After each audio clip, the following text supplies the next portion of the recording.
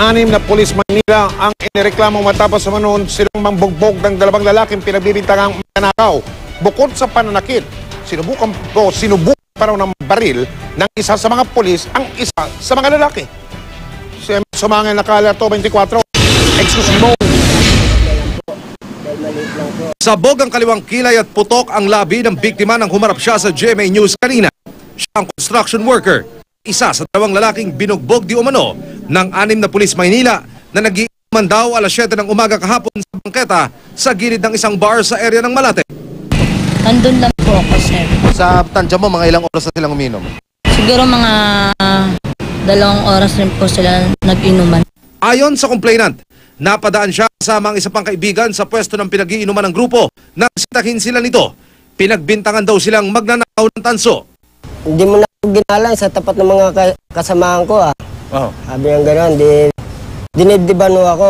Nagpakilala raw siyang nagtatrabaho sa barangay pero bigla daw siyang siniko.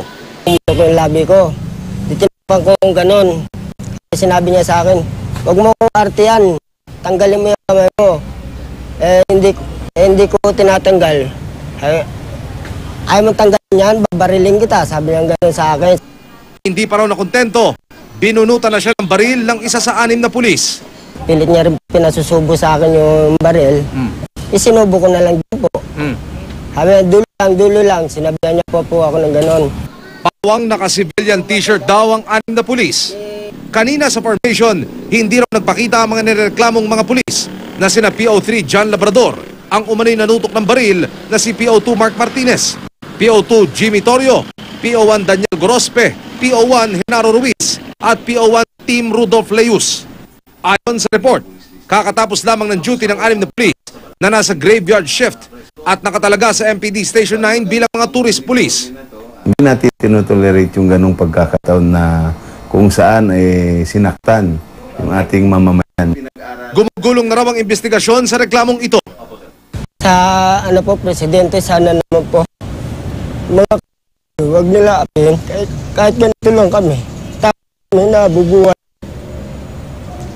Kasi masakit rin po sa akin na wala naman akong kasalanan na ganong ginagawa nila, di ba?